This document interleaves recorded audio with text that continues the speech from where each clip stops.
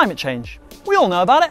We all know it's worrying AF. But what's the best thing that we, individual individuals, can do about it?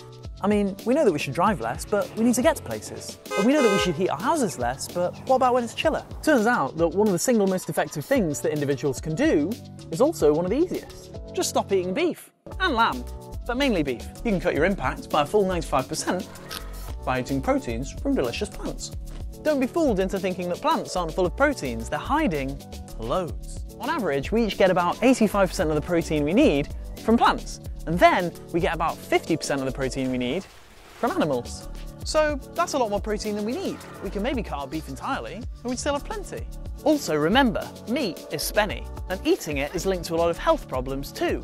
Oxford University reckons that switching all meat for plants would prevent about 45,000 early deaths a year in the UK. And if that isn't enough to convince you to cut down on or entirely cut out beef, here are two more things. Water. Delicious, refreshing, wet water. It might be plentiful here in the UK, but it's running out in most places in the world. And what's one of the single best and also easiest things you can do to save water?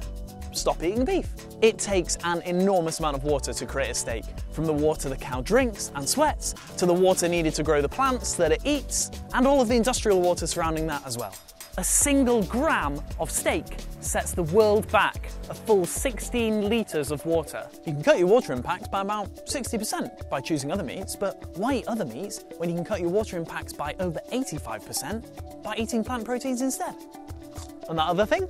Land. We're smashing through global forests at a rate measurable in football fields per second, claiming new land for farming, simultaneously vanquishing the very trees we depend on for absorbing the CO2 that's created by all that farming. You can reduce your land impacts by 85% by choosing chicken and pork over beef, freeing up land for reforesting and other useful things. But why choose any meats when you could reduce your land impacts by 95% by choosing plants instead? The number of cows on Earth is unbelievable. If you took all of the world's land mammals, tigers, mice, elephants, beavers, platypuses, mongooses, and you put them in a massive pile, only about 3% of that pile would be wild animals. 28% of that pile would be humans.